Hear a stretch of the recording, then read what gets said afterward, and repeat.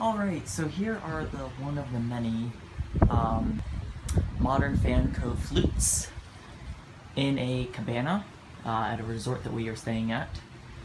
Um, there is a couple of them, there's one over there and there's many more in the cabanas over there, but these are basically the same fans. Um, they're on a four-speed fan control and um, the switch right next to it is for the light think is pretty cool. So I'll go ahead and start this one off on one first. And it does not do a thing. Okay. So here's low. I don't know why it wasn't working the first time, but it just wasn't. I think maybe the uh, low, low, the lowest speed is too slow for it. And it's not enough power to give it that oomph to go.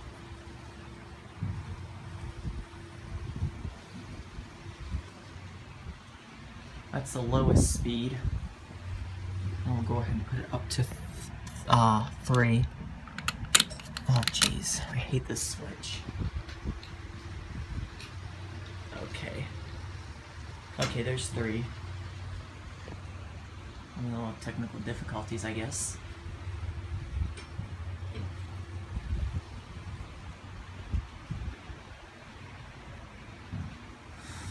I'll put to two, which would essentially be a medium speed.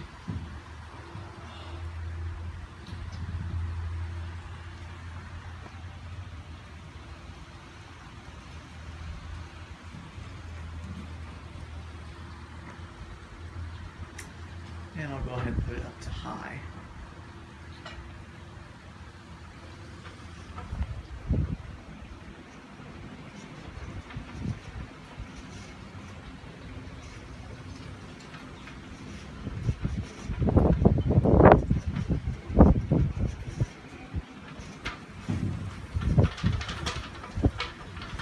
That does not sound good, so I'll just go ahead and turn that off.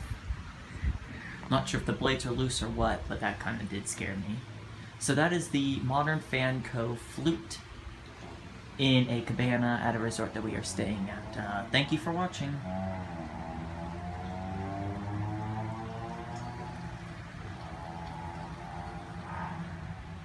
Alright, this is the next one. The uh, next Modern Fan Co. flute. Um, the one, I just filmed that one. Now we have this one. This is in the other open one. The other ones are closed. And it's not looking in the hottest condition. So, I guess we'll try this one out. Oh, I just noticed the blade is bent. Uh, let's see if this one works at all.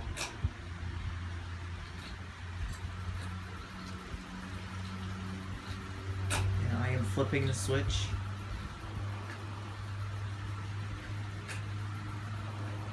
You might be able to see it slowly go, but it's broken. So, that's it for this one. I guess this one does not work.